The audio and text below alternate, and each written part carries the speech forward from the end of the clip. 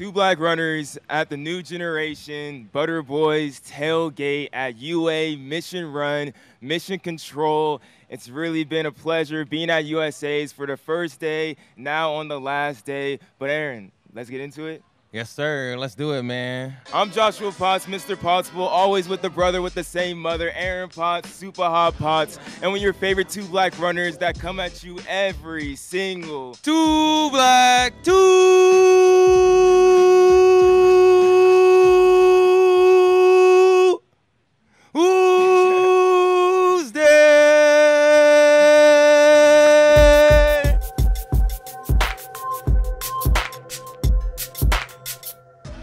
The last day of USA's. We're behind Hayward Field at Yes, UA yes. Mission Control. It- It's really been it's been nice. It's been- you've done that at least like five times during our trip here. Are you good, bro? I mean, sometimes, you know, Weini Kelati, she's joining us and she knows you got to dig deep, you know, in these times because you got to do it for the people, for the supporters, for the love, for the Butter Boys. So I am tired. And like you said, what makes this journey so great for us and here to be at UA Mission Control, we get to speak to special athletes like Wayne Kelati who competed in USA's today with a fourth place in the 5,000 meters with a 1552. Wayne, you've been on a journey this season. We saw you race at Portland Track Festival actually when you went out there and you ran that 1457. I think about two weeks ago now. You were on a mission to go out there and make that world championship team. You fell a little bit short, but you were saying to me earlier that you're still feeling content on how your season has gone so far.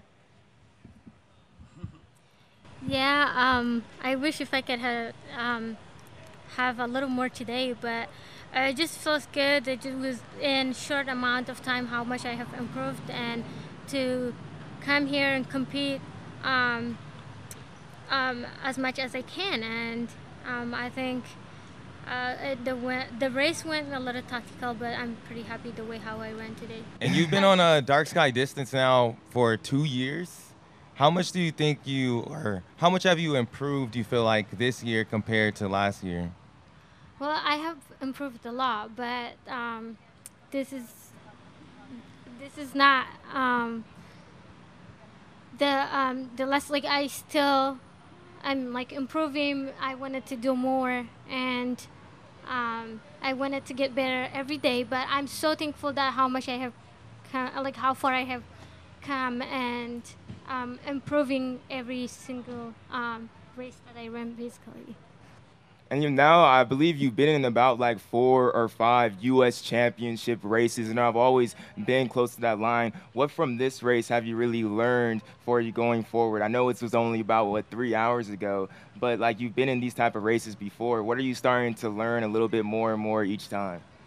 Well, there's a lot of things to learn when you come on the championship race because um, it plays different. But I'm so thankful that to uh, make it this far and come compete with the best in the nation and give out everything I had. And also getting so close that gives me a lot of confidence when I come back next time I'll be in the top three. And you've been a pro too, not very long now, but like Joshua said, you've been to a couple of U.S. championships. Do you feel like you're just starting to get the hang of having, you know, track and field be first outside of when you were in college? Um, can you repeat that question? I'm sorry. I was just gonna say, do you feel like you're adjusted to the pro life now? Um, yes, because it's a different level. Yes, like in college, um, you compete with a lot of runners. It also built your confidence going to similar race. But and when you go up to professional, then it's like another level. So you get used to the tactical race and like how fast you can go at the end. Or there's like a lot of like really fast runners. How you gonna be get close to them? So I feel like I'm in the right direction to just get um, good as they are. And what I'm really curious, Wayne, because like you ran the U.S. 10,000 meter championships at pre, you were in that race, you were competitive in that race, and also in this 5,000. Like, what, what, which one do you like more, the five or the 10? And also, just well, actually, too, like you're a beast on the roads. Like we That's didn't, what I was thinking, we didn't even talk about that. That's what I was compared to the too. five, to 10, in the roads, do you have any type of favorite in those type of fields in those disciplines? Well, my favorite is the 5K. Even though I can handle pretty well in the 5K and 10K. Uh, but I always like to run less laps on the track.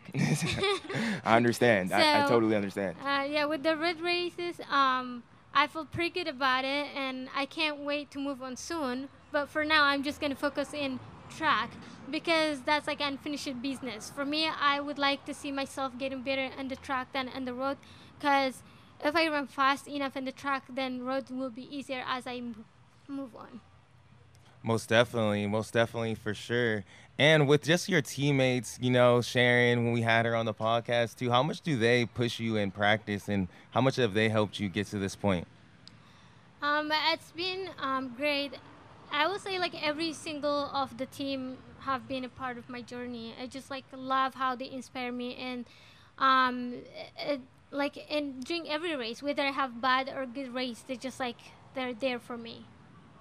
And then before we let you go, Wayne, we were talking about before about the other races that happened today. You were saying the women's, the, the men's 200 and the women's 800 really caught your eye. What was something significant from one or one or both of those races that really just made you see that those were super exciting on USA's on this last day? Um, I don't know. Every race was very competitive, but it was just the most exciting thing to watch. Just like you don't know who's gonna get it. It just like get very excited when the race is that way.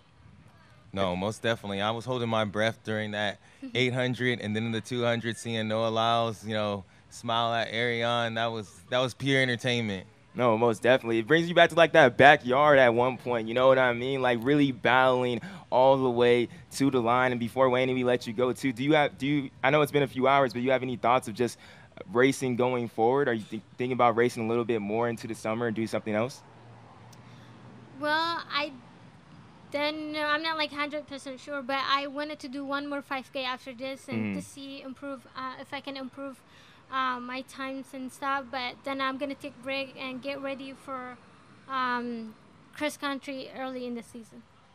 Yeah, I wouldn't be surprised if you're out there again at Abbott Dash winning another 5K championship that you already done before. But thank you, Wayne, for joining us on the Two Black Runners podcast. We appreciate your time. Congratulations on your amazing season so far, and we're excited for everything that you're going to do later in the season. Thank Most definitely. you. Thank you. I appreciate. it.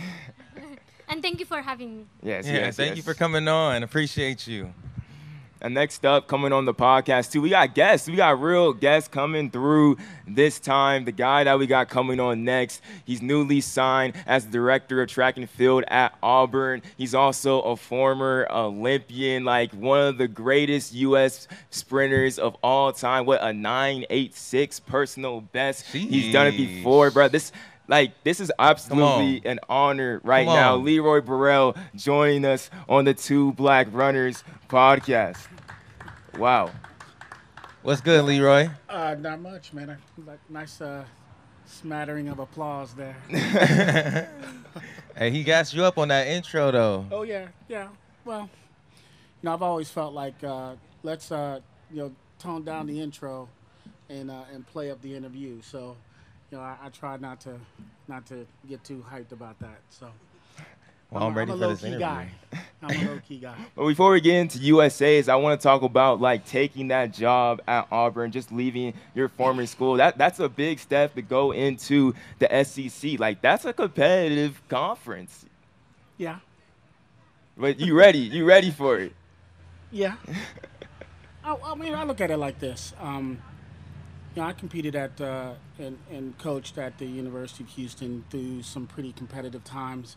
Excuse me, and uh, you know, we, we brought our program to the point where we looked up at a couple scoreboards, and, the, and there were only one or maybe basically one SEC school that beat us. So I, I really don't see uh, the conference itself as Yeah. a challenge. I see uh, a few programs that are very outstanding as a challenge, and, and we're going to try to build a program that can compete just like we did at, at Houston. And uh, the conference really doesn't matter. It never mattered there, and it's not going to matter now. You know, it's all about the athletes and the work and the, you know, the, the talent and the, the resources and, and support and execution, and that's what we're going to go do. Early in the season, what is that thing that you tell your athletes to get them mentally prepared for everything that's coming?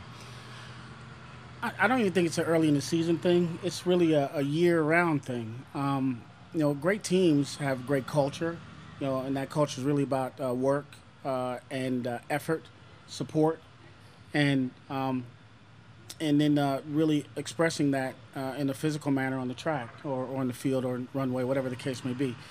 Uh, so you have to try to build that throughout the year, yeah. and then um, you want your athletes to to get to a point where they rely on each other and they're expecting the best from each other.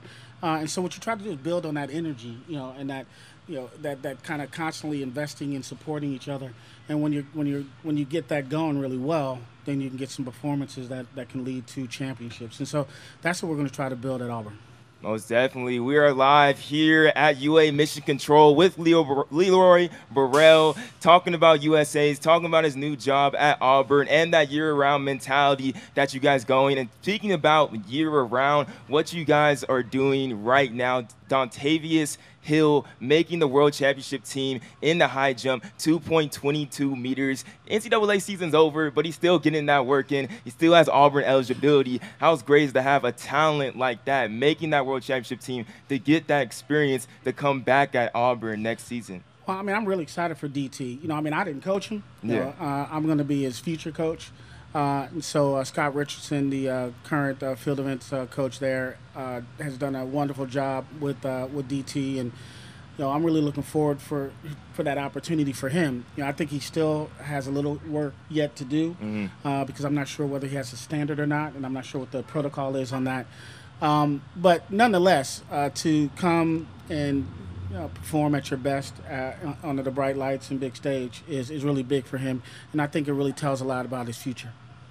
Yeah, that's a that's a great look for the program, and that's super nice going in.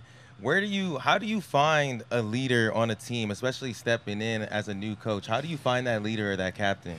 Well, you, you, you, first of all, you've got to be quick to find him.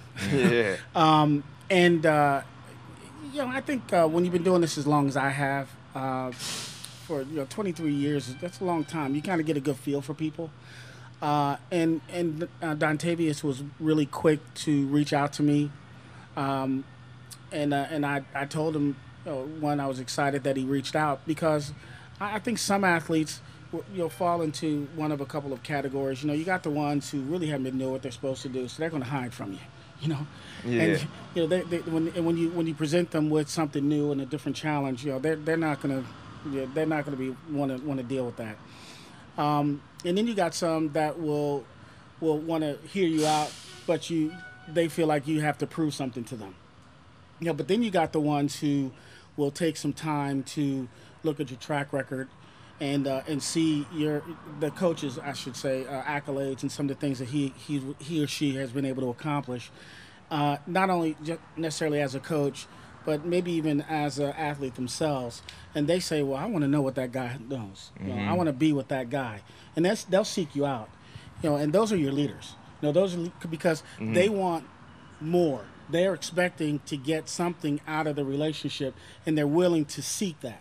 And uh, and uh, Dontavius was one of the athletes that did that, and I was really excited when he was one of the first ones who reached out. That that's awesome, especially for somebody that's doing so well right now to be not just leading by example on the track or in the field, but also doing it through the culture and just being on the team as well. And we I feel like there's a lot of NCAA athletes out there right now that are doing that thing, especially in the sprints. Has to be Abby Steiner, the performance that she put out there today. Jeez. Someone like Abby Steiner, especially if DT is able to get to that world championship stage, what advice would you give to an NCAA athlete that went through that indoor, that outdoor, and now they still got to go three more weeks to return back to Eugene to compete on that world stage? Well, um, first of all, I'm not sure if I can give any advice because uh, the the situation, at least with, with Abby and uh, and I think with Don, Dontavius, you know, Abby's uh, people, her coaching staff and support, you know, they've put her in, in, in great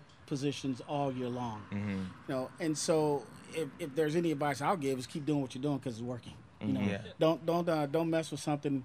You know, if it ain't broke, don't fix it. You know, and uh, she ain't broke. No, You know, not at all. So leave that leave that thing alone. Uh, let it do what it do.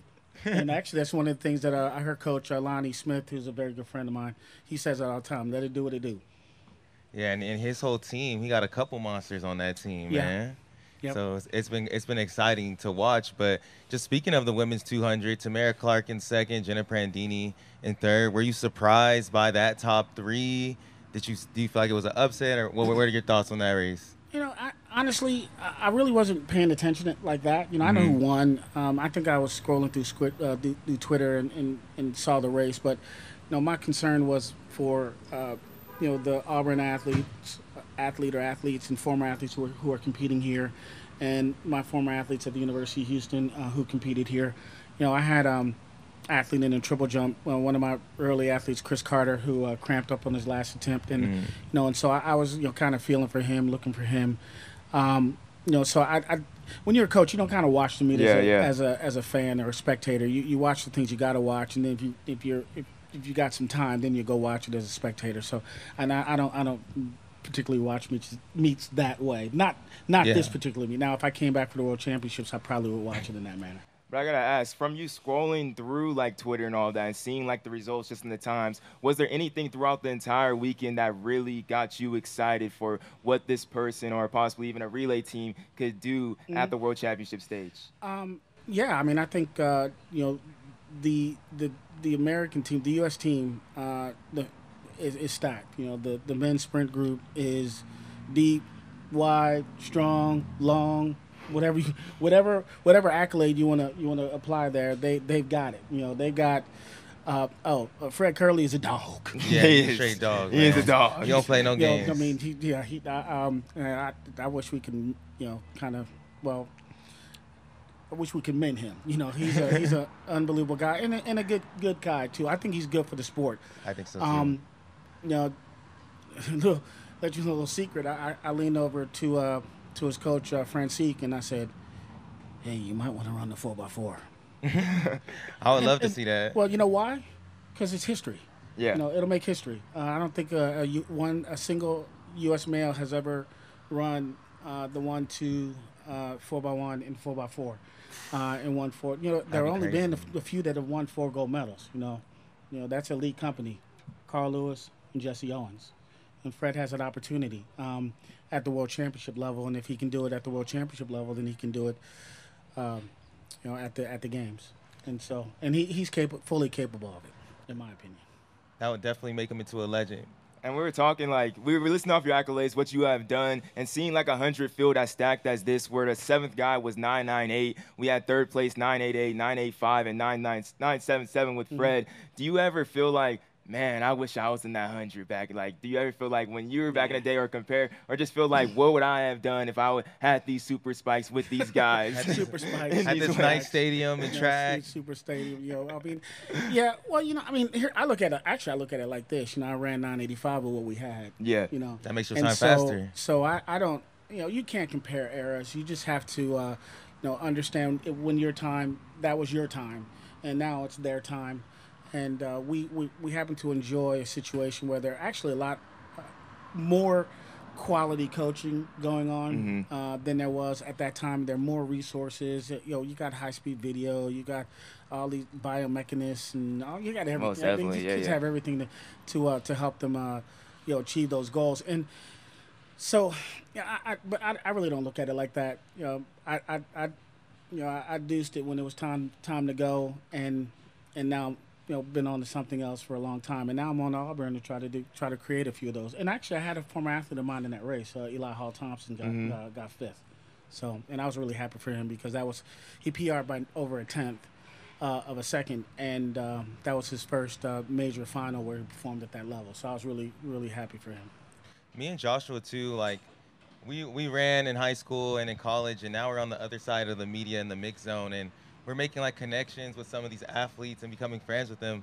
So a lot of people were happy today, but we saw a lot of people who were disappointed, and we, we feel for them too in those moments. What do you tell an athlete that you know they didn't have the best day, or they're just disappointed with the result on a big stage like this? Well, I mean, it happens to all of them, you know, and so uh, and that's what I think one of the first things you need to ru- remind athletes that it's it, it happens to everyone. All of all of us are going to get run out of it out of the game. You know, sometimes uh, you, you're going to get run out permanently, you know, and then sometimes you're going to get run out and you, you might not have much more time uh, to work on it. But if you're going to stay in it, you have to understand it. Uh, and if you if you understand it, then what you do is uh, you tell I tell them you, you got to go back and, and fix the problem that caused you to you know that caused you to not be successful at that particular moment. I actually I, I had this talk with one of my athletes today, a kid who was uh, made the semis in the hurdle, uh, Davion Wilson, and his first time here. You know, and I told him, you know, you, let, let's think back to all the times you didn't do what we were trying to do in practice. You know, and so you need to address that issue Mm-hmm. uh, in in practice and in training, uh, and then strip it down to its bare bone minimum. You know, meaning you've done everything you can you're capable of doing to be your best, and then go out and compete. And the only variable is whether you're whether you have the talent or not. But a lot of athletes don't want to get that real, you know, because Yeah. because there are people that are you you will line up against people that are far more talented than you. Most Um, you know, you just have to hope that you know they didn't do all of their stuff, you know, and uh, and the, and you you're able to take uh, take measure of them and, and take a skull that day, you know. That but but that that's that's the nature of the game, quite Yeah. honestly. You got to put yourself in the race, man. You're gonna take some L's. You're gonna lose more than you're gonna win, but Mm-hmm. You just gotta put yourself in position regardless. Hey, not not uh, not losses. They're lessons, bro. They're Ooh, lessons. Two okay. L's make a W. okay, okay, You know, okay. I, I like that. I see Yeah, you. Just, just, it's a, all all a matter of perspective, right? Yeah, definitely, yeah, definitely. yeah. Different way to look for it. Mm-hmm. But we appreciate you, Leroy Burrell, joining us on the Two Black Runners podcast live from UA Mission Control. SEC, they in trouble, man. They are definitely No in trouble. NCAA in trouble. That's what it sounded like when my man was saying. Well, that's all I gotta say is War Eagle. Hey, I love Hey, you. I love you. I love you. Thank you so much you. for coming right. on the podcast, coming through. We appreciate you. Thank you, appreciate it. Let's take a quick break in the podcast for our next stop Oregon segment. And this is where, for the past couple months, we have been de- dedicating time to the first ever World Athletics Championships on U.S. soil. From July 15th through the 24th in Eugene, Oregon, at Hayward Field, we will have the first World Athletics Championships. And we were just at the U.S. Championship, seeing people, witnessing people qualifying and making that U.S. team. We have a plethora of interviews on the Running Report YouTube channel you can check out right now. So for this week on the Next Stop Oregon segment, I'm gonna give you a snippet into our interview with Sinclair Johnson, who won her first U.S. championship and has her eyes set to being that top American at the World Athletics Championships this summer. Enjoy this clip. I remember like at the DMR, Pete was saying, hey, uh, I want them to get the world record because I want them to recognize that Union Athletics, Yeah. we are a team that is like, produces like the world's greatest Yeah. athletes. Do you feel like the whole team is like, I feel like really embodying that now and you, you, you all Yeah. made a statement. Yeah, I think so. I mean, so we have, I think, four, con- yeah, no, no, sorry, three confirmed of, I don't know how many athletes, but three confirmed going to the world champs. Raven's gonna do her thing tomorrow. I know she's gonna make that team, so that'll be four. Um, and we have a good, Charlie has a good shot making the team. So I think it just speaks for itself that, you know, we have over half our team representing their respective countries at the world level. And I mean, that's, I think, more as a percentage than any other group that I know. So I'm pretty excited to like have that kind of um, camaraderie and be around that kind of greatness. Yeah, and it definitely just felt like at pre and with Ness now, you've definitely taken that step to Yeah. be like, hey, that is Sinclair Johnson. She's Yeah. a top 1500 meter woman. Do you, does that feel like a reality, or is that something you always thought about yourself?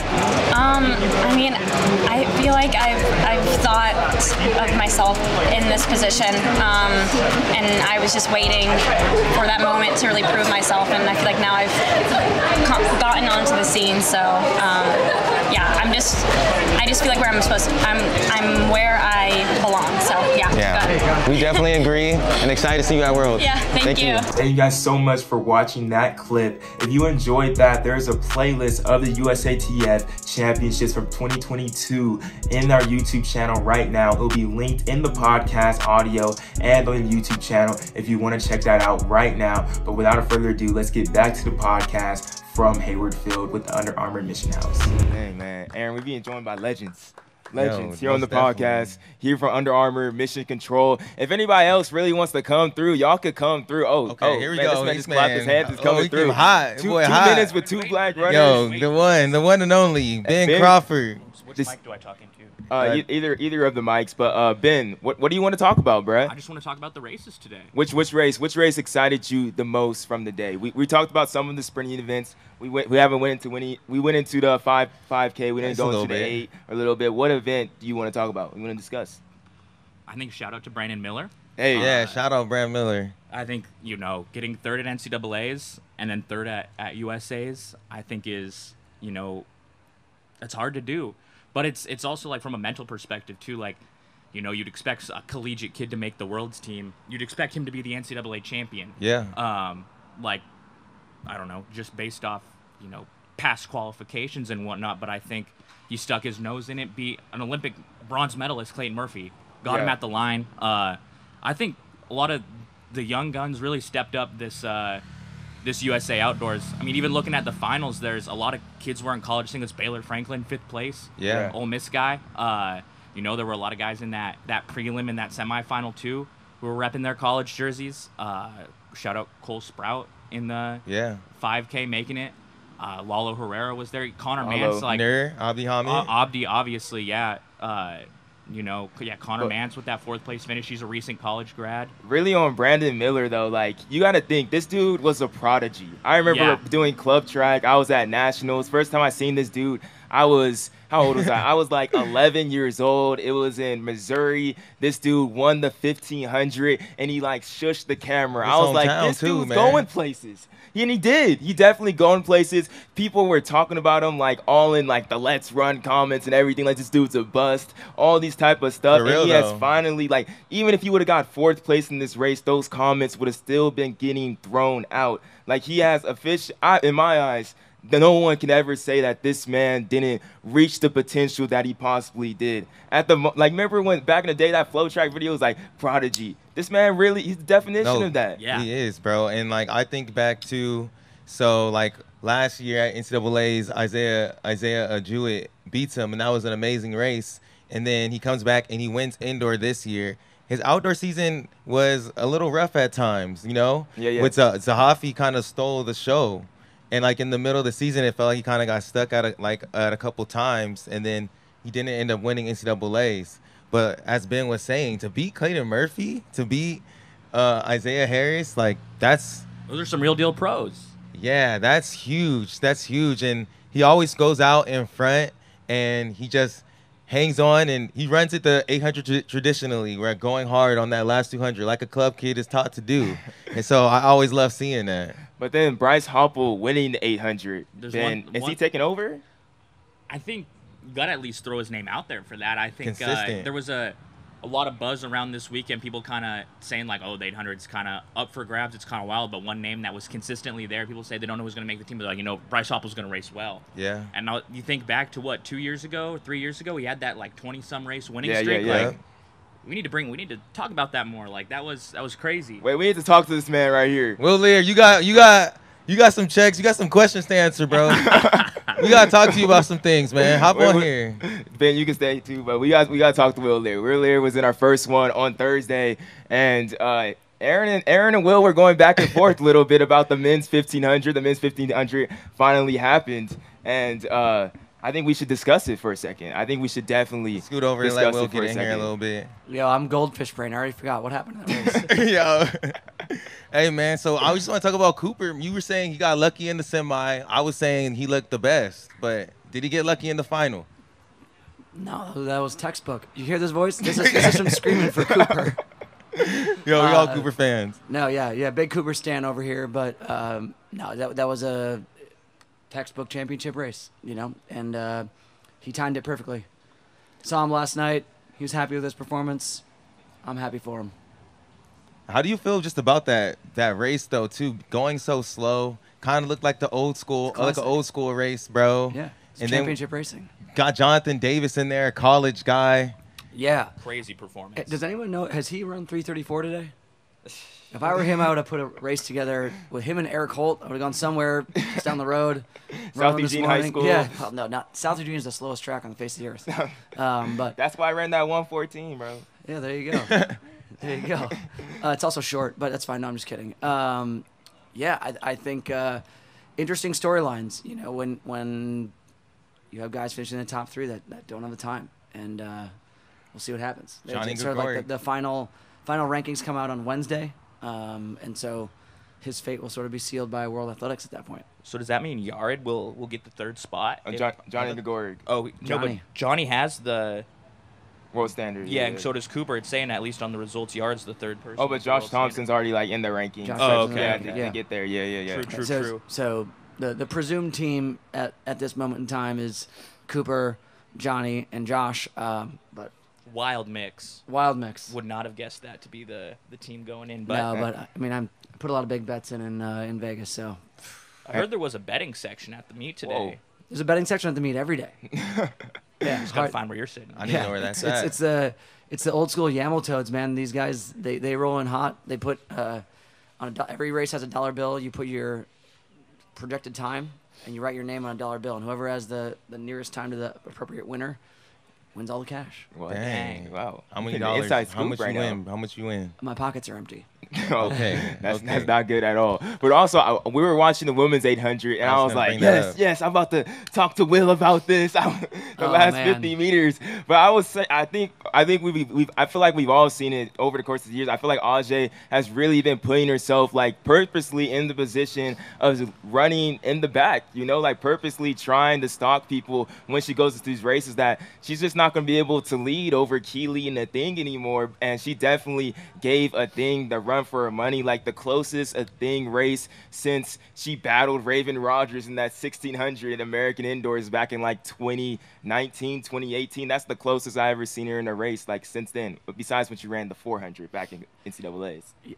Additionally, I think this this might be one of the only times I've ever seen Ajeé's face go from Yeah. I'm literally just chilling to like, I want this. Yeah, I, Yeah, want it I agree. She wanted and to when she swung wide, I mean, that, that's where my voice went. I was, I lost it. I'm like, why not you, Ajeé? Go for it. I mean, it's it's the it's the former queen of, of the 800. I mean, she had so many years of being dominant on top, and Athing is obviously insane. She's so good. But um, yeah, I, I mean, Ajeé took a shot. That, that's, that's the way the race went. I, it was really funny when the girls came down the backstretch for their victory lap. I was sitting with her and some of her training partners, and they came over and she's like, "I'm not a pace setter."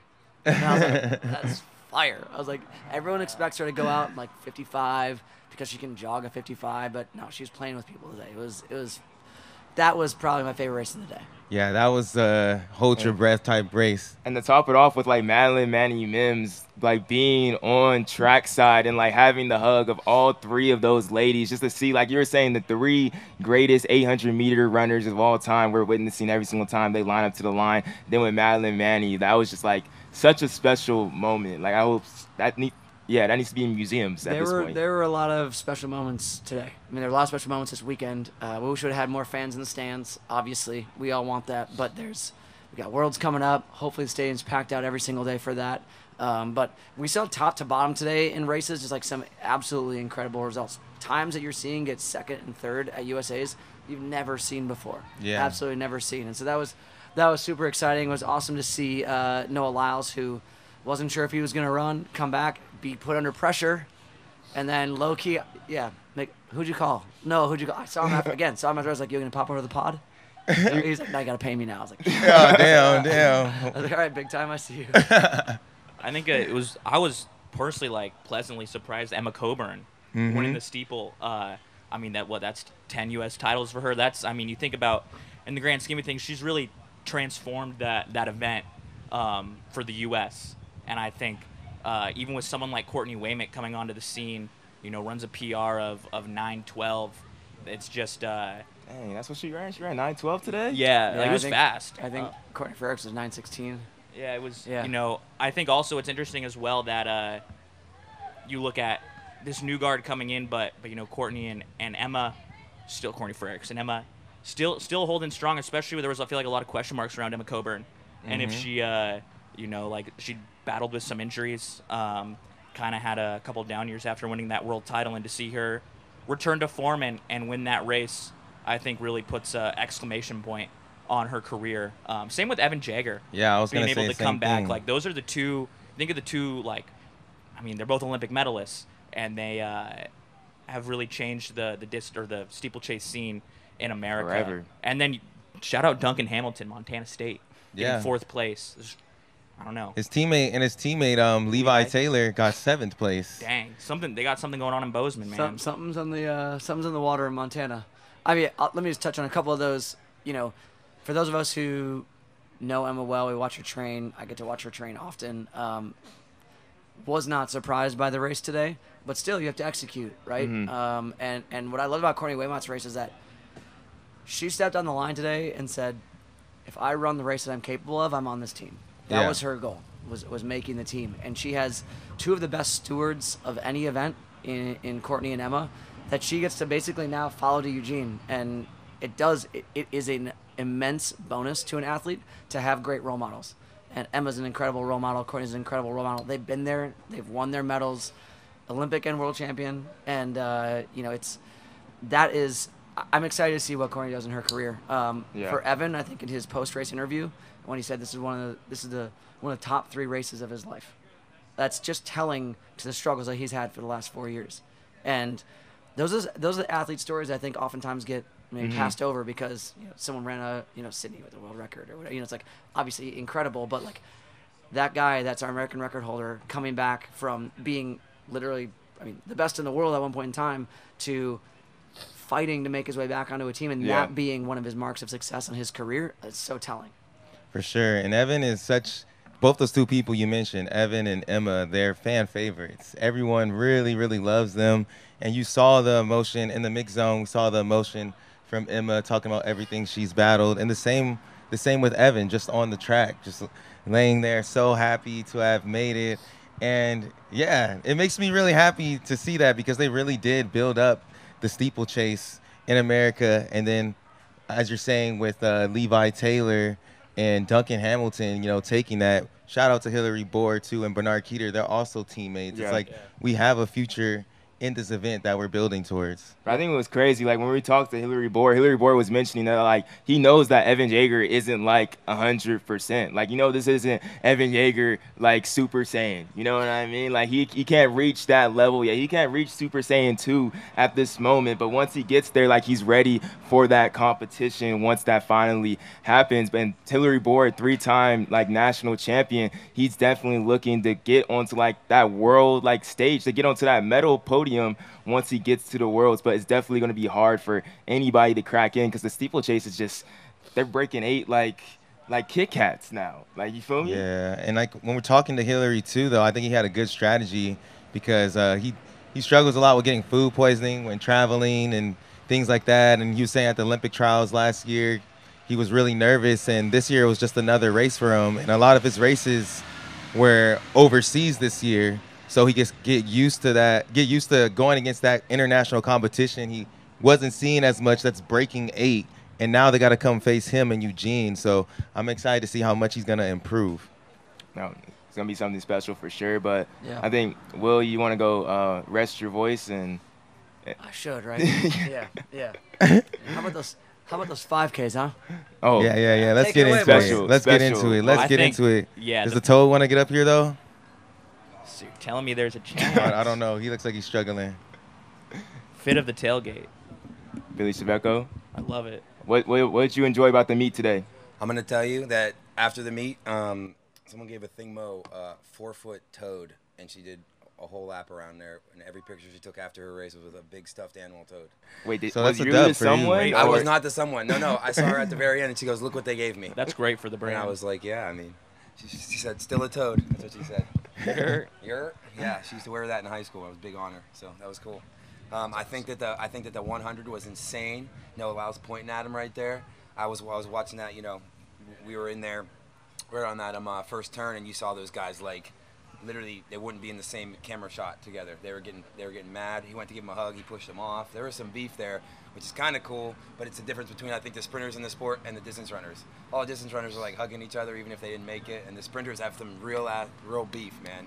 Um, Well- that was kind of cool. What happened at the? Because we were in the mix zone. What what happened when they were on the mic and Erriyon said something and walked away and they were laughing? I didn't hear what he said, but he's just, I think he, he said like he's scared or something, and he just put it down. I don't know. And he walked right in. And then when they did the lap with the flags, he uh, went over to the side where they started.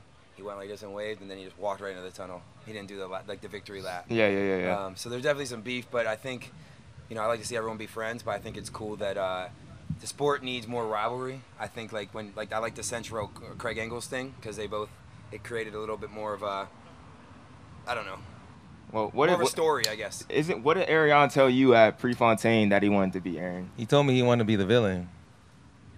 Cause everybody, every Cra- That's crazy. yeah, he told me he likes being the villain. Cause, cause uh, everybody, uh, you know, yeah, that's savage to say, right? You know, everybody the dislikes the villain though until they get to know him. You know what I mean? Like the Super Joker. Gremlin. Well, Noah Lyles has a cartoon where he's the superhero, right? Like he has one of those anime. They, Oh, they made him an anime uh, That's film true. for the Olympics. So yeah, I think that's the, the classic like superhero villain. But I think it's good. I don't know. You want to see everyone get along, but I think that, that like I said, that adds anticipation. They're going to talk about that next time. That next race is going to be lit because of their little rivalry there. Um, so I think that's good. And then what was I going to say? The other thing is, I love Athing Mu. She's awesome. But to see Ajeé compete, I think Yeah. I Yeah. think uh, what's her name, Keely Hodgin- Hodgkinson. Um, I think Mu and Ajeé Wilson are probably going to be the three in worlds, and it's going to be amazing. Um, I'm excited for that. I'm, I'm still holding on to that USA sweep. with Raven, man. Oh, that would be awesome be too. crazy. Yeah, That would be USA awesome, sweep, too. but Keely, yeah, Keely is hard to battle. But that US, Crazy. that USA sweep coming. I, one of these years, that USA sweep. Bring the brooms, bring the brooms to Eugene, just in case, man. Bring the brooms to Eugene. I think that would be amazing. Also- I mean, magic. I mean, she's on Raven's on the on the stack. I think she'll have a, little extra magic in there for that. She always has some magic the last 100. Yeah. The last 50 meters, I don't know how she just busts out of nowhere every time. So if she's in the right position, who knows? Who knows what could happen? Speaking of busting out in that last, did you see Woody Kincaid's last? Oh my God. 224 or 227 was his last 1K. Guy ripped. Disrespectful. Like Yeah. he ripped. Like he was out of nowhere. Grant was just chilling by himself, and then Woody's like, "What? Let me try." I'm, I'm really surprised Paul Chelimo didn't make the team. I think going into it, at least, you know, some of what I heard was it'd be people. A lot of people were saying Woody Grant and Paul. Like those guys were. I mean, especially look at Paul's championship racing uh, record. Sometimes he doesn't always have it during the regular season, but I mean, man's got two Olympic medals. He's always up there. Um, and so I think, yeah, for Abdi to come in and get that spot, that's huge. It's huge for the young guard. Um, you know, that's that's always where my head's at. Is like, you know, who's next? Who's up next? Um, and I think, yeah, Abdi stepped up, big Yeah. time, big time. And That's talking to him in the mix zone, he's like, bro, I want to see how high I can place in the world. Like, you know what I mean? He- What's next? Yeah, exactly. And he was still like super grateful and really embracing the moment and was like shocked. But at the same time, he was like, I want to know what's I want to know where I can place in the world, man. And I think this really shows that this guy this guy is he's here. He's arrived. He has, he has, and I think, yeah, you think about Sinclaire Johnson. She's here. Yeah. Like, no, no. Speaking of that, we got to talk about Brandon Miller. Yeah, yeah, yeah. on, we, yeah, yeah, yeah. We talked about Yeah. that a little man. bit. Yeah, yeah. Sorry, I missed that. No, but no, no, go there. in. Yeah, He- Brandon he Miller, laid bro. he laid on the ground for like 50 seconds after because he fell. He, well, he, he dove. Yeah, Yeah, yeah. And he laid down, and ev- I thought he was hurt, and he just laid there. And as soon as his name came up, he he bounced up and was like, "Let's go!" And I'm Yeah, like, that was- "No that was way." dope. So like, That he's, must be some crazy he's on the emotion. Crazy yeah. emotion. And and what you said was taking down a big guy. You know, Clayton Murphy. Yeah. So Chelimo's always great in championships. Well, Clayton Murphy. Murphy's the best at it. Don't hear about him for a while. Boom, wins He's there. USA's. Boom, gets a bronze medal in the Olympics in the eight. You know, back in 2016. that's Like, crazy. That's still like crazy. Is bro. Bryce Hoppel taking over that that Feels stand? like it a I don't know. bit. I don't know. Bryce had Bryce had like I feel like he had a he won so much that everyone was expecting him to just continue to win that he didn't do as well. I think as I would have liked him to see him do um, in on the. in the Olympics. So Yeah, he needs yeah, to- yeah. he needs that needs that moniker on the world stage yeah. now. That's the next step He's for amazing. him. I'm not hit- yes, ripping on yes, him at all, yes, yes. but it was a big letdown because you just expected it. Yeah. You know, um, so that's why I like Clayton Murphy. You kind of weren't expecting that, and he was he was very vocal about people not you know sleeping on him, but um, you didn't expect. He, he didn't have the, the races that he has been having, but he always shows up in championships. So for B, B Miller to take him down, that's huge. I feel like we got so used to Donavan Brazier winning every single 800 Literally. that now it's just like it's just kind of weird. It's like or just like there's just so many different people with him not in the race, you know, like Jonah Koech, no one was saying that name. Yeah. That that he was gonna make the team. And then last year, like Isaiah Jewett, what he did, you were like, what? That's crazy. So is he gonna be ran- a guy? He ran 50 flat for his middle 400 of his 800. Do you know that? That's crazy. So you know how like the first Yeah, yeah. they normally go out in like 50 for the first one, and then there's that that's third through 200 is rough, and then Yeah, you close yeah. hard. Yeah. He went 50 flat for that middle 400, Dang. and I think they went out in 50. So I think he That's ran like sick. a 50, and then uh, it kept that pace going for another 200. Yeah, that's that's wild. wild. That's U- wild. USA 800 meter running It's crazy. It most definitely is on the men and the women. But we're at, we're live at Two Black Runners here at Under Armour Mission Control. I gotta call somebody up to the stand. Tiarra Williams, real talk. T, Get up here. T, come through, Let's come hear through. what you gotta say. Toad signing out. You're. You're. Thanks, guys. Hey, but hey, T, I seen Trey. Was that that was Trey doing hitting the gritty? No, that was No, Trevor. that, that was Trevor. My Oh, bad. That was on, Trevor. man. Bro, don't bad, do that bad, to my them. bad. Don't Trevor, do that to Trevor. them. Come on, man. doing that. To, I'm just saying. And Trevor hitting that gritty, making that second place in the 400 meter hurdles. A big PR, 47. 47 for my guy. This dude, D2 product out of That's college, crazy. Making that 400 hurdles. You saw him hitting the gritty. What did you think of that 400 meter hurdle race? It was crazy. It was crazy, but I can tell he was excited to make his. That's his second world team. Yeah. This year. Yeah. Like he made it indoors in the open four, and then he was able to come out and get it in his own event. That's that's powerful. Like that whole race was good. Rai was cool. He was smooth, just doing his thing. You know, he did this with a flex one time, but yeah, it was a fire race. And You've had Trevor on Real Talk Mm-hmm. before, so what what was it like to like just see him get that? Amazing, amazing. Like it, it low key felt like I, I Like was you won? invested. You know what I'm saying? Yeah, yeah, I yeah, was yeah, invested yeah. in his in his journey for sure. So it was amazing. It was So- amazing. Also, what did so what did you think about that women's 200? Like that was a crazy. I don't think a lot of people had that that team put together. That's our sport. What can we say? So, track is always full of surprises. Like you could come out here with a prediction if you want to, but it would really shut you up. Yeah, but Abby, she's sweet. She hits with a little dance at the end. Like she was really feeling it. She was excited. So I'm happy for her for sure. For her to be able to come on the biggest stage and get another gold medal. You know, that's that's fire. And I really feel like it was a long time coming because I don't think a lot of people were paying attention to like when she had her injury last year, like during like the mm-hmm. Olympics. But that indoor season, like she was killing it, and I was excited to see what she was gonna do outdoor. Then she like you know fell off the face of the earth because she wasn't running. You know what I mean? But now for her like to come out, that redemption has to feel sweet. Definitely a 21.77. Sick. It's sick. Sick. It's sick. Is she gonna be able to compete with Jamaicans? Yes. Uh, Yes. Come on now. yeah. Yes. Yeah, I think, man. I think it, 21-7 was that a national record? I think it was a national record too. No, it was a national record. Was It it? wasn't No. World lead. World, World lead. lead, World world lead. lead, Okay. personal W- best. Not- WL. And she ran 21.8 in the semi. She just kept getting faster. Yeah. It's like she definitely keep people have had so many questions about about Abby, but bro, you can't you can't really say nothing. She really is she really is uh That girl. Yeah, she really is that girl to be be honest. You can't deny it. But I'm also super happy for Tamara Clark. When she was at Alabama, she was a beast, bro. Mm-hmm. Winning NCAA titles. And I feel like she struggled a little bit at first with going pro. But for her now to make this team, because I don't think a lot of people had her on their list at all. That's that's super big for her. And Jenna Prandini. Yeah. Well, she's just consistent. You know what I mean? She knows the game. She knows Hayward Field, just like how Raven got it, and just like how my guy De- Devon Allen also got on that team barely, barely on going on to that. That was that was scary. Definitely for somebody that's looking to break. The, I thought we were gonna see a world record for a second, but then almost barely missing that team. I was like, man, those OTAs. I don't know. I don't know. Those OTAs. I don't know. But he definitely showed up in the big. Big moment, but specifically for Daniel Roberts, I think the narrative has always been like, has he's not been the same since he's left Kentucky, but to show up and get a national championship with Grant out of the race, but mm-hmm. like to still get the title, show up in that big moment has to be big for him. Definitely. That's big. I'm, I'm sad we didn't get to see Grant though. Yeah. I'm sad we didn't get to see that in the race, but I mean that was a big moment for sure. Like they they got out like Trey Cunningham looked good. good, feeling good. Like he told me before the meet, he was just like, I'm ready to whoop some A. I said, okay. Hey. Like the energy. We need that energy.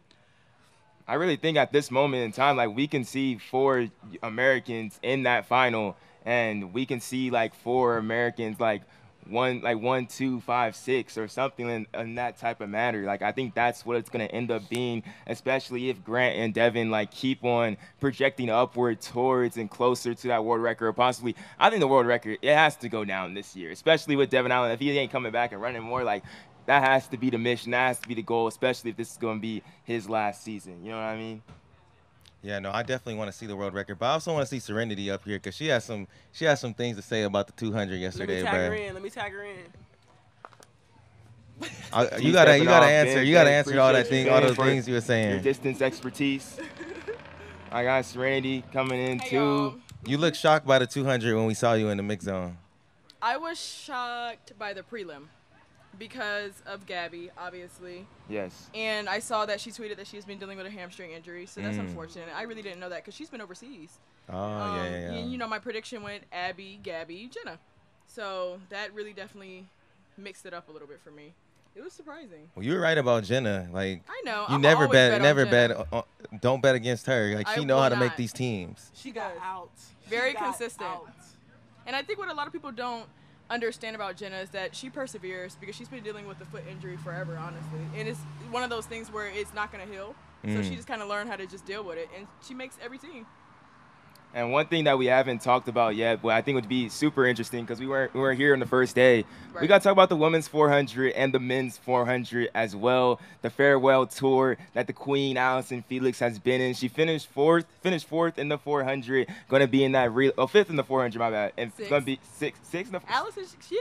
Oh, she finished sixth, man. bro. I, I, that's surprising to me. That's hard for me. Fourth is Tryna- hard. hey, That's hard tryna for me to her up say. a You know little what I mean? That's Yeah. hard for me to say. That that's not normal. But she's still gonna be. Hopefully, I'm pretty sure she's gonna be in that relay pool in a mixed relay Gotta put her or on it. four by four. But really, just in the women's 400. In, in total, to have Talitha, Talitha Diggs go out there, I feel like this is could be the start of something new. This could be a streak, possibly. I don't, I don't know. 19 years old. 19. Talitha is 19 years old. 19 That's years old, crazy. 50.22 after winning NCs. That's amazing. I think I think it's really gonna be. She has the potential to do really well at World Championships. It's gonna be hard to get into that podium. It always is in the 400 meter hurdles, especially especially to get that gold with like a Shaunae Miller-Uibo always out there and chasing you. But like you said, 19 years old. For her, it's going to be super big. And someone else that's kind of still young. Aaron was kind of throwing shade at Michael Norman in the mix zone. What? Because you're calling him a veteran. And he was like, bro, I'm still young. How is that like, uh, shade though? Bro, I was just saying, saying- he was I was taking just it like saying- shade. I He think was we taking forget. it. He's Oh. like 24 years Yeah, old. he's 24. I was just saying, like, bro, you've been to an that shade. Olympics, you've been to a world championship, now you're about to go to another world championship. He's a Like, veteran runner. But I think this is- compared to your your teammates are Champion Allen and Randolph Ross, like they both in college. But I'm just saying, I think this is going to be the year that Michael Norman reaches that pinnacle. I know Yeah, Steven yeah. Gardner has been on a tear when it comes to world championships. Stevie. This man does not lose. Like since like 2016, 2019, he has won like world championships, Olympics, and the other world championship he has run every single time when it's on to that level. But I don't know. Michael Norman has been running so consistent this year. He may just be too too good at this point. Because looking back at 2019, when he ran that 40, why you why you looking at that that, that T? Because Michael different. Like he said, He is He was mad that he opened up with 44-1. Yeah. Cause I was pissed. I was pissed. Like what?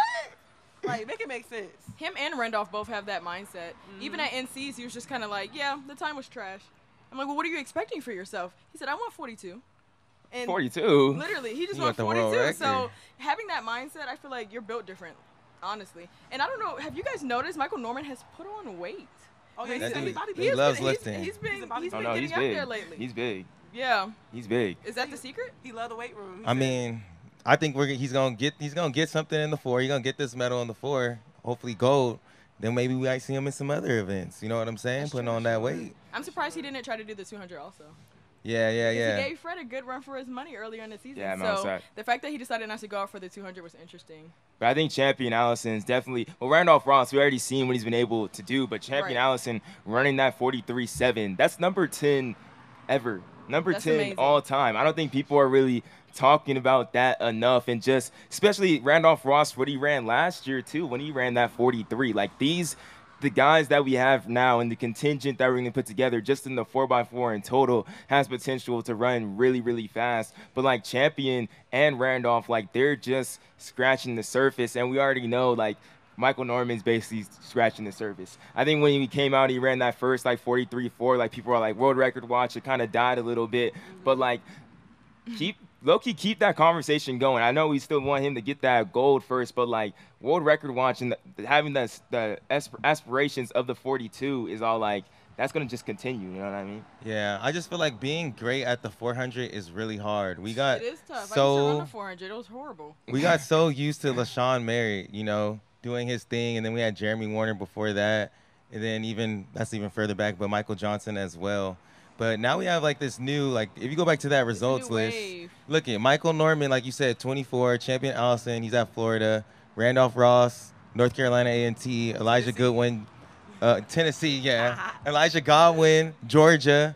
Noah Williams could be at L- LSU still, bro. Yeah. And then we have a UCLA, a UCLA guy in here as well. It's like our team is young. Is, is he Vernon Norwood is the is the I don't know how old uh, Vernon is. Vernon Well, Norwood's if you like the think about same it, Michael Michael. Cherry has to buy. Yeah, yeah, And he has is to gonna be That's at true. Worlds already, and he's going to be on the 4x4, and he's along with Vernon, one of the oldest in the field. That's crazy. in the 400. What's what's Michael like? Uh, 26? I want to say 26, 27. Michael Cherry? Yeah. Oh, maybe I don't know. I think. Uh, okay. I feel like 26, 27. Uh, Give or Joshua take. the one throwing shade, man. I'm not, throwing, I'm not throwing shade. I just, I really didn't know. I really didn't know, to be honest. And then what was a really special, I think, too, the women's 100 meter hurdles. I think watching the journey of Alia Armstrong has been super special. You know, I went to middle school with her. What? Oh, wow. crazy. Yeah, crazy. like all the way in Wow, Cal- wow, we lived. I was in California though, so I went to middle school then. Now I was all like, last year I seen her at the Olympic trials. Like, wait, wait, that's Alia. Hold on, like that. That was crazy and special to see her make that team. But especially even like Alaysha Johnson as well for her. Like you, you guys definitely be on Twitter and like her, her aspirations to get that sponsor and to show that she's definitely worth it, not just for what she does on the track, but the personality. Like she was having fun in the mix zone and was definitely Lele- Lele- showing it off. You know Her what I uniform mean? was fire though too. Yeah, the uniform was nice. I've been following her since she was at Oregon originally. And I was like, this, you know, this is technically your home track. And she said, yeah, she's just defending her title. So from Oregon to Texas Tech. And then she took some time off and now she's back. So that's an amazing journey, honestly. Yeah, we used to be uh, teammates actually, me and Oh, really? So yeah, like she said that her time at Texas Tech was like the time of her life. Like she said, it was so fun, and um, just watching her story is truly inspiring because like she really didn't have the support coming out of college. You know what I'm saying? Yeah. She had to take a couple time off, and now she's training in Austin. So Mhm. I feel like the deal, the deal's coming. The deal's coming. I The feel like it's on is the way. absolutely It's packed up on the way. And as far as Alia, she's just the definition of hard work. Mhm. Like Yeah. humble, hard work, faith in God. Like I, I love me some Alia. I love me some Alia. I love me some Lele. Like them the girls. Now, Yeah. this conversation though, Lele, I think is the only woman in like the past two years that has beaten Jasmine Camacho Quinn. Yeah, Keni that's- Harrison beat Lele yesterday, ran that 12-3-4 world lead, season best. And I feel like Keni has been on a run where every single time she like she races, she's not really happy with the performances, She's but not. you gotta be kind of happy with that first place finish and the world lead. Mm-hmm. Can Lele or Keni take down Camacho Quinn? Absolutely. I think that Keni is just always. It's not that she's not happy with how she performs. She's happy but never satisfied, and that's what I really like about her. Because I trained with her in Austin, and every single rep she's going harder, going harder. Like, yeah, that was good, but I could do better. And she is on world record pace at practice. And the first thing that she said after she ran the 12:34 yesterday and won was, "I hit the last hurdle. That was 12-2." I'm like, girl, you just won USA's again. Oh. But um, the first thing that she's thinking about is her critique. So, like I said, having that type of mindset, you know, the Michael Normans, the Randolph Ross, the Keni Harrison, that's how you get world records. But I think it's going to be a show with Jasmine Camacho, and they used to train together at Kentucky, so that's a long Crazy. rivalry Ooh. there with Coach Flo. All that. I'm gonna say we can never count Keni out. Put some respect. That's a world record holder. Facts. Respect always. Facts. But like, come on now. It's gonna be it's gonna be a race. That's all I'm gonna say. It's, gonna tough be a beating tough- people twice. It's gonna be a tough battle. Like I support Jasmine as well. I, I love me some Jasmine Mhm. too. So like I can't really say who I got because I'm, I'm I'm gonna keep it neutral. Mhm. But it's gonna be a fast race, and I'm expecting a world record. I ain't even gonna cap. I'm expecting a world record. What about too. Nia Ali? Isn't she the world Nia Ali, champion? very Nia Ali consistent. Something is in the coming tank. in. Very consistent. And She's she's looking amazing. good. She's the definition of She's clutch. amazing. You know what I mean? yeah. Mhm. She she is clutch, and for she and she's in that world championship final, like with Mhm. Keni Yeah. and Jama- Jasmine Camacho Quinn. If they don't run to their best ability, like Nia's there. You know what I mean? Mhm, Like Nia's mhm. there. She may not got the world record, but like She got the medal. she got the medal. She do Olympic, and she said she feels like she hasn't even scratched the surface. Yeah. she said she feels like she has something left in the tank, and like I'm not gonna lie, that race she got out. yeah. Like her start was just crisp. So I don't know, man. Mhm. It's in God's hands. Whoever gonna win. And she has kids. She has kids. She Multiple. like w- yeah, multiple kids. And she comes back and she runs ridiculously fast every single time. I don't like I can't grasp that. It's like an Allyson Felix type of thing. Wait, is she married to Andre? Yeah, Andre DeGrasse. Oh Yeah. man, Yeah, yeah, yeah. they they, Andre they just know how to DeGrasse, that's a win. fast They just family. clutch. They clutch though, because That's Andre a fast DeGrasse is like that as well too. Like Definitely, it's out of mentality. nowhere, he'll go he'll go to the Olympics and be like, oh shoot, this guy Olympic champion. No, most definitely, most definitely. But we appreciate you guys' time, bro. Two Black Runners live here at Under Armour Mission Control. I don't know what, what else do y'all want to really talk about. Y- Y'all have anything else you want to talk about? Does anyone else want to come up? Ben Crawford. Ben Crawford coming through. Ben Crawford coming All right, coming y'all. through onto the Ben I have spot. Crawford got something to say. That's like my thing to say. I've, Please. I haven't been on Twitter in the last couple of days, um, but I was What? just scrolling through the feed, bro. Scott Fauble, where you at, bro? Hey, What? no, for real though. I That's seen I that. say, I bro. seen. I know what you're talking about. I seen that. He was hating. He was Bro, hating he was big hating, time. Bro. Like, it's crazy. Um, I don't know, but because I feel like a lot of times, I mean, obviously, It's that Will Leer generation that be hating on the middle distance. Oh, runners. whoa. Oh, you you glad you Where's better he be at? happy Will they're gone. nah, like they were like they were talking about Cooper and whatnot, and oh, he's a terrible tactical racer. But it's like, bro, you watch that race, like you just flipped a switch, like hmm. went from like ninth to second in like 150, 200 meters, coasted it in. I don't know, and and seeing that, I feel like a lot of times, like I bite my tongue on that stuff just because they, uh, not that I bite my tongue very often, but uh, they have uh, people like to. I mean, when you're at the the top, those guys, a lot of people come from. A lot of people were talking about Cole Hocker and whatnot afterwards, but it's all ebbs and flows. And I think, uh, I don't know, those guys are good, man. And uh, I think the way they go about doing stuff, um, people, they're cautious to bring in the new guard, but those guys are definitely. I mean, you look at Cole's performances last year; like he's not going anywhere. Can we get No, Jenna most definitely. And and you know, Jenna people, uh, we're at right behind us. Jenna Prandini, want to come on the live podcast? Oh, her Uber's here.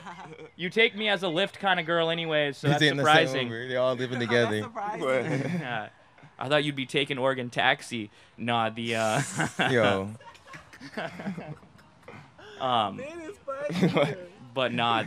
yeah, I think I don't know. I see a lot of stuff on on Twitter recently. I want Twitter fingers to get more active. I think it's it's good for the sport if you look at the NBA. track Twitter is fire. Track Twitter is fire, bro. That's how.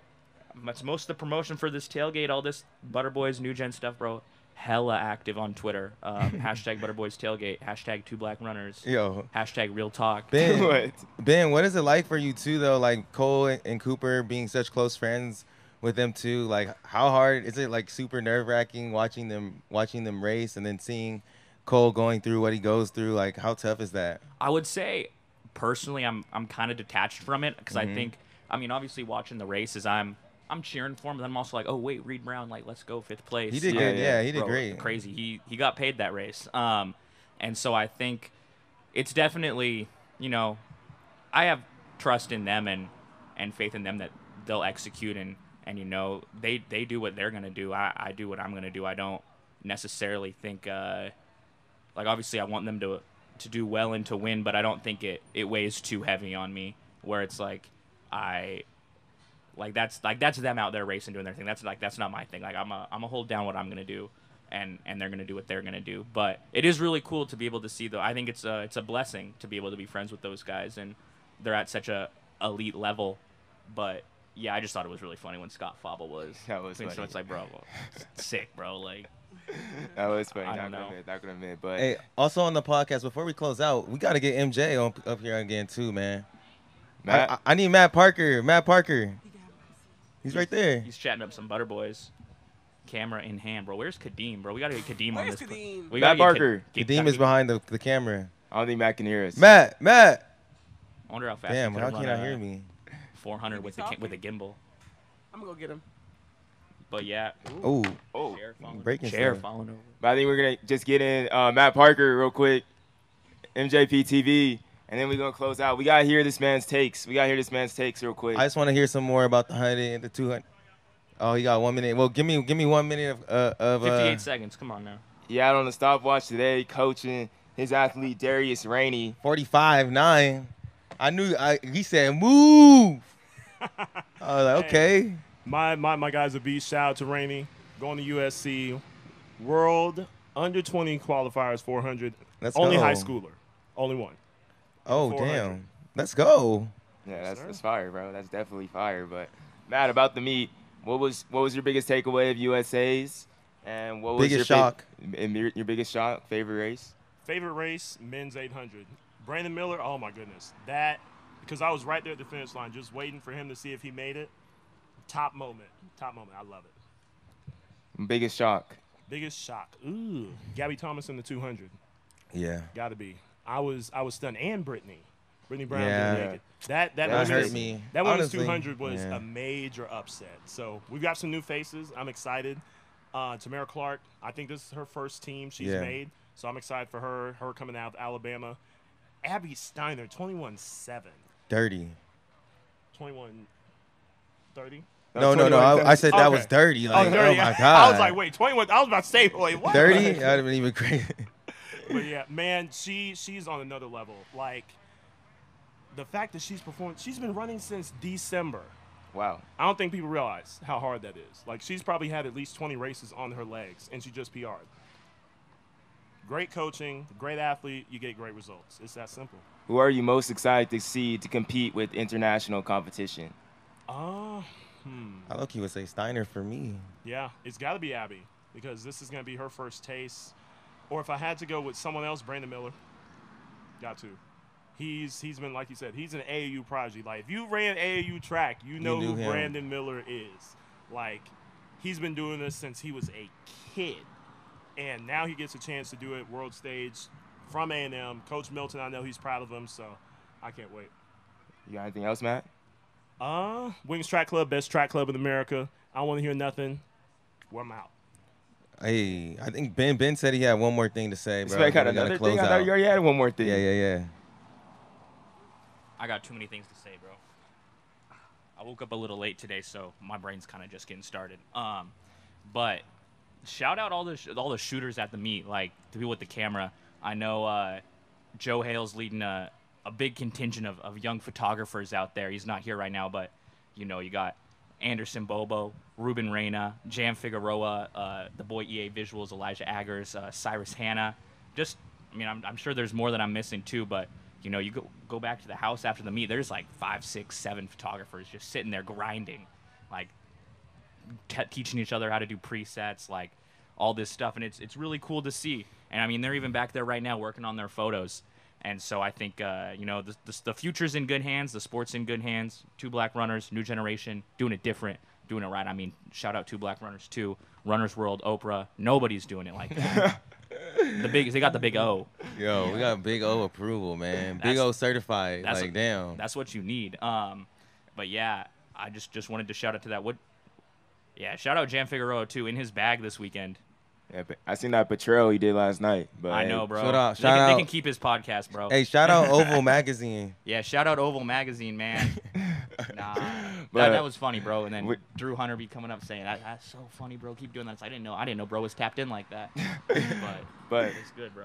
And a shout out Under Armour and Under Armour Mission Run, UA Mission Control. We were here all weekend. Really do appreciate being able to do this. Would love to do it again. Just letting us ramble and talk and really just talk about the sport we love. And thank y'all for listening, tuning in to these two epic podcasts behind Hayward Field. That's amazing to say. But we'll catch y'all next time, unless we get canceled. Let's get it. We're Unless just we get canceled. we're just two black off of that runners to join our man. Hey, thank you.